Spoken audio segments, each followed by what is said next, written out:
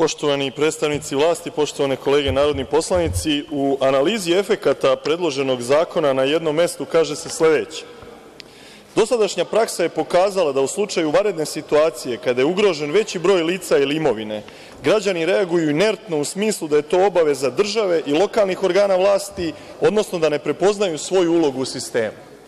Ja nigde u ovom vašem obrazloženju predloženog zakona nisam video zašto građani ne prepoznaju svoju ulogu u sistemu. U kom sistemu?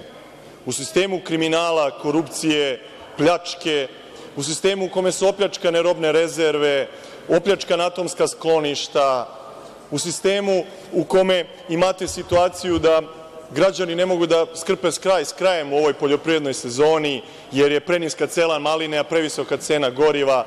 Prosto, kako mislite da u takvom jednom sistemu građani imaju poverenja u vlast i u državu? I to u koju vlast? Da li u vlast SPS-a koja već 30 godina vlada, da li u ministra vojnog koji je nekad bio u JUL-u, a sad je u vašoj vlasti?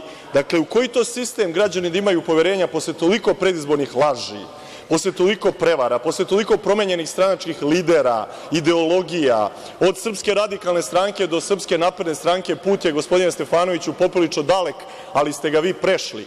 Od nekoga ko je nekada bio protiv ulaska Srbije u Evropsku uniju do danas najvećeg evrofanatika koji bi išao u uniju po svaku cenu, pa je čak spreman i da prizna nezavisno Kosovo da bi ga Evropska unija primila u svoje okrilje. I šta je zapravo taj pravi rizik od katastrofa? Da li je katastrofa prodaja PKB-a? To je katastrofa. Da li je katastrofa prodaja RTB-a Bor? Da li je katastrofa prodaja Beogradskog i Niškog aerodroma? Da li je vanredna situacija dolazak Srpske napredne stranke na vlast? To je najveća vanredna situacija u Srbiji u poslednjih mnogo decenija.